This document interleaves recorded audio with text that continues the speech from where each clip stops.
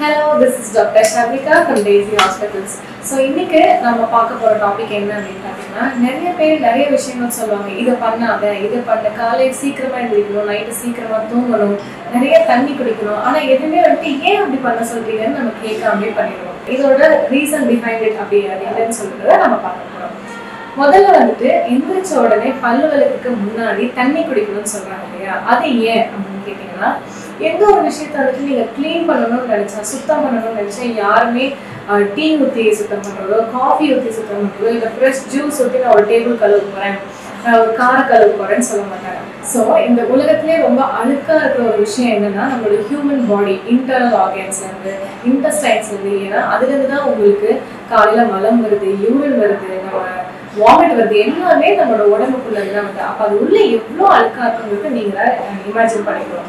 So அதை நீங்கள் clean பண்ணும்போது எந்திரிச்ச உடனே ஒரு டீ ஊற்றி க்ளீன் பண்ணுறதோ ஒரு காஃபி ஊற்றி ஒரு பூஸ்ட் ஊற்றி எதுவும் ஒன்று இந்த மாதிரி விஷயங்களை ஊற்றி க்ளீன் பண்ணாமல் வார்ம் வாட்டர் ஊற்றி க்ளீன் பண்ணுறது ரொம்ப ரொம்ப நல்லது. இதே வந்து நிறைய பேர் சொல்லுவாங்க எந்திரிச்சோடனே ஒரு கிளாஸ் தண்ணி குடிச்சிருவேன் எந்திரிச்சோடனே ஒரு ஃபுல் செம்பு தண்ணி குடிச்சிருவேன் அப்படின்னு சொன்னாங்க எது கரெக்டான ப்ரொபோர்ஷன் அப்படின்னு கேட்டிங்கன்னா சாலிட் ஃபுட்ஸ் இல்லாமல் லிக்விட் ஃபுட்ஸ் அதாவது வாட்டர் எவ்வளோ நேரத்தில் வந்துட்டு நமக்கு டைஜஸ்ட் ஆகும்னு பார்த்தீங்கன்னா டென் டு டுவெண்ட்டி மினிட்ஸ் தான் மேக்ஸிமம் எடுத்துக்கணும் ஸோ நீங்கள் ஒரு ஒரு லிட்டர் தண்ணி குடிக்கும்போது நீங்கள் மார்னிங் எந்திரிச்சோடனே போகிற யூரின் வேறு தண்ணி குடிச்சிட்டு போகிற யூரின் வேற. ஸோ மார்னிங் எந்திரிச்சோடனே யூரின் போனதுக்கப்புறம் நீங்கள் ஒரு ஒன் லிட்டர் தண்ணி குடிச்சிட்டு ஒரு டென் மினிட்ஸ் அப்புறம் உங்களுக்கு யூரின் வந்துருச்சுன்னா ஸோ நீங்கள் மேலே இருந்து கீழே வரைக்கும் ஃபுல்லாக க்ளீன் பண்ணிட்டீங்கன்னு அர்த்தம். ஸோ இதனால தான் எந்திரிச்ச உடனே தண்ணி குடிங்கன்னு சொல்றேன். இப்படி குடிக்கிற தண்ணி வந்துட்டு வார்ம் வாட்டராக குடிச்சா இன்னுமே நல்லது ஏன் அப்படின்னா ஒரு விஷயம் பிசு பிசுப்பா இருக்கு. ஒரு நல்லாவே க்ளீன் ஆக மாட்டேங்குது. நம்ம சுடுதண்ணி ஊற்றி க்ளீன் பண்ணுவோம். அந்த மாதிரி எந்த ஒரு உணவு வந்துட்டு நம்ம குடல்லையோ நம்மளோட உணவு குழாயிலையோ நல்லா ஒட்டிக்கிட்டு பிசு பிசுன்னு இருக்கிற உணவு நீங்க சாப்பிட்றீங்கன்னா வார்ம் வாட்டர் ஊற்றி நீங்க க்ளீன் பண்ணும்போது ஈஸியா எல்லாமே நார்மலாக இருக்கும். நெக்ஸ்ட் வந்துட்டு செவன் தேர்ட்டிக்கு ஏன் சாப்பிடணும் அப்படிங்கிற மாதிரி. ஈவினிங் வந்துட்டு செவன் தேர்ட்டிக்கு மேலே சாப்பிடணும். டென் ஓ கிளாக் சாப்பிட்டு நிறைய நிறைய பேர் சொல்லுவாங்க. அது ஏன் அப்படின்னா செவன் தேர்ட்டிக்கு மேலேயும் ஒரு சிக்ஸ் ஓ கிளாக் மேலே நிறைய ஒர்க்லாம் முடிச்சுட்டு வரவங்க வந்துட்டு நீங்கள் எல்லாமே ஒரு ரிலாக்ஸ் பொசிஷனுக்கு வந்துடுவீங்க எல்லாமே உட்காந்து டிவி பார்த்துட்டு ஃபோன் பண்ணிட்டு அந்த மாதிரி ஒரு கொஸ்டின் பண்ணதுக்கப்புறம் பாடியும் என்ன பண்ண என்னையும் கொஞ்சம் ரிலாக்ஸ் பண்ண விடுங்க. நானும் தூங்க போகிறேன்னு சொல்லிட்டு ஃபுல் பாடி ஷட் டவுன் ஆகும் அவங்களுக்கு அப்போ வந்துட்டு நான் நான் ஃபுல்லாக ஃப்ரீயாக இருப்பேன். ஆனால் என் உடம்பு வேலை செஞ்சுட்டே இருக்கணும்னு நினைக்கிறாங்க. பத்து மணிக்கு சாப்பிட்டு அது என்னைக்கு டைஜஸ்ட் ஆகுது? சாலிட் ஃபுட்ஸ்லாம் வந்துட்டு it take at least twenty to thirty minutes to enter the small intestine குடல போய் சேர்றதுக்கு அது தேர்ட்டி மினிட்ஸ் ஆகும்னா ஸ்டமக்ல ஃபுல்லாக டைஜஷன் ஆகி முடிக்கிறதுக்கு ஒரு தேர்ட்டி மினிட்ஸ் ஆகும். ஸோ நீங்கள் பத்து மணிக்கு சாப்பிட்டு பத்தரை மணிக்கு தூங்குங்க அதுக்கு நிறைய டிஃபிகல்ட்டிஸ் வரும். இன்டைஜஷன் வரும். நீங்கள் தூங்கும்போது மேலே எதுக்கழிச்சு வருது தூக்கம் இல்லை ஸ்ட்ரெஸ் டிப்ரெஷன் இது ஏகப்பட்ட விஷயத்துக்கு கொண்டு போகும். ஸோ செவன் தேர்ட்டிக்கு சாப்பிட்டு முடிச்சிங்கன்னா ஒரு எயிட் தேர்ட்டி நைன்குள்ள ஃபுல்லாக ஃபுட்டெல்லாம் டைஜஸ்ட் ஆகி ஸ்மால் இண்டஸ்ட்ரியிலேருந்து லார்ஜ் இண்டஸ்ட்ரியில் போய் ஃப்ரீ ஆகிடும் ஸ்டமக் ஸோ நீங்கள் அதுக்கப்புறம் ஒரு த்ரீ ஹார்ஸ்க்கு அப்புறம் தூங்குனீங்கன்னா எந்த ஒரு டிஸ்டர்பன்ஸும் இல்லாமல் தூக்கம் வராமல் இருக்கிறது.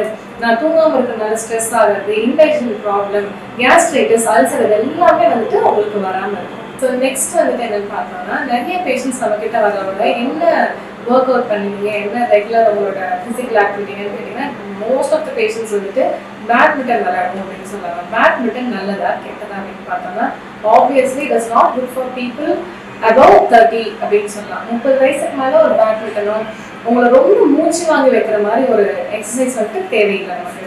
நம்ம வந்துட்டு mostly walking meditation yoga side ஏன் போகணும்னு சொல்கிறோன்னா ஒரு மனுஷனோட உயிர் வந்துட்டு தன்னோட மூச்சில் தான் இருக்குது அந்த மூச்சு வந்துட்டு நீங்கள் எவ்வளோக்கு எவ்வளோ ஸ்லோவாக விடுறீங்களோ எவ்வளோக்கு எவ்வளோ பதமா நிதானமாக பண்ணுறீங்களோ அவ்வளோக்கு அவ்வளோ நம்மளுக்கு வந்துட்டு ஆக்சிஜன் உள்ள உடம்புக்குள்ளே இருக்கும் ஸோ நீங்கள் ஷட்டில் விளையாடும் போதும் சரி ஒரு ரன்னிங் போகும்போதோ ஜாகிங் போகும்போதோ ஓவராக வெயிட் லிஃப்ட் பண்ணும்போதோ இந்த மாதிரி விஷயங்கள் வந்துட்டு உங்களுக்கு எக்ஸ்ட்ரா ஆக்சிஜன் நம்ம உடம்புல இருக்கிற ஆக்சிஜன் வந்துட்டு ஓவராக வெளியே போகும். Over stress பண்ணிப்பீங்க.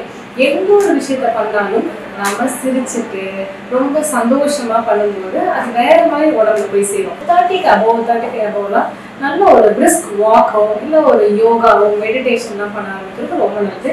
இது நம்ம ஆயுட்காலத்தை நல்லா ஜாஸ்தி பண்ணி கொடுப்போம் அடுத்து வந்துட்டு நிறைய பேர் வந்துட்டு நெஞ்சு கழிக்குது எது கழிச்சு வருது? நான் குளிச்சே போடுறேன் நான் சாப்பிட்டே படுக்கிறதுனால சாப்பிட்டதெல்லாம் வெளியே வருதுங்கிற மாதிரி இன்டைஜஷன் இஷ்யூஸ் அதாவது கேஸ்ட்ரைட்டிஸ் இல்லை க்ரானிக் அல்சர் நிறைய பேருக்கு இருக்குது.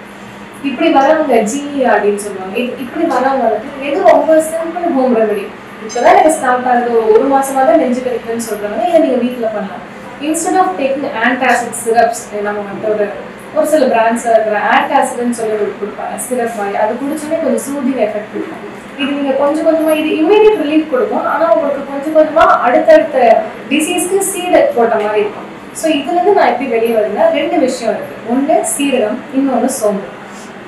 சீரகம்னா நிறைய பேர் கேள்விப்பட்டிருக்கீங்க. அகத்தை சீர்படுத்துறதுனால எனக்கு சீரகம்னு பேர் வந்துச்சு. இன்னொன்று சோம்பு. ஏன்னா இப்போ ரெண்டுல எது பெஸ்ட்னு கேட்டால் சீரகம் தான். ஆனால் உங்களுக்கு விரும்பி எதை நீங்கள் சாப்பிடுவீங்கன்னா சோம்பு. சீரகம் வந்துட்டு கொஞ்சம் டேஸ்ட் அவ்வளோ நல்லா இருக்காது. நீங்கள் கஷ்டப்பட்டு ஒரு நல்ல உங்களுக்கு பிடிச்ச உணவை சாப்பிட்டு அதுக்கப்புறம் சீரகம் சாப்பிட்டீங்கன்னா பிடிச்ச உணவோட டேஸ்ட் அப்படியே போயிடும். சோம்பு வந்து லைட்டாக இனிப்பு சுவை உங்களுக்கு கொடுக்கும். ஸோ சீரகமும் சோம்பு ரெண்டும் சாப்பிடலாம். ஆனால் இந்த ஆன்டாசிட்ஸ் ஃபுல்லாமே ஸ்டாப் பண்ணிட்டு மூணு நேரமும் ஆஃப்டர் ஃபுட் வந்துட்டு ஒரு அரை ஸ்பூன் சோம்பு நல்லா வாயில் போட்டு மென்று அதில் ஒரு ஜூஸ் வரும் அதை நீங்கள் முழுங்கணும். அதுக்கப்புறம் அதில் சக்கையும் நீங்கள் முழுங்கலாம் இப்படி நீங்கள் வந்துட்டு அட்லீஸ்ட் ஒரு ஒன் வீக் டூ வீக்ஸ் பண்ணிங்கனாலே ஒரு டிஃப்ரென்ஸ் அவ்வளோ நல்லா இருக்கும்.